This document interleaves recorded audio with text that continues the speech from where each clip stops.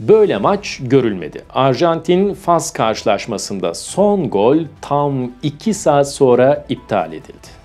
2024 Paris Olimpiyat Oyunları futbol maçlarıyla başladı. B grubunda oynanan Arjantin-Fas karşılaşması tarihe geçen bir sona sahne oldu. Arjantin maçın bitimine dakikalar kala skoru 2-2'ye getiren golü attı.